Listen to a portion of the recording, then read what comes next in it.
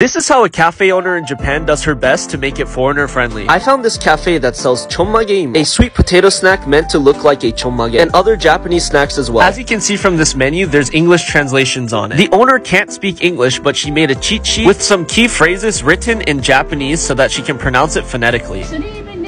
3ミニッツウェイトちょんまげもここでほら熱々お出しするでしょ合ってるですか合ってます合ってるハバナイスディハバナハバハバナイスディ気をつけてとかあの楽しんでとかで全然合カタカナってまです書いてるからこうやって読めないのお伝えしたいんだけど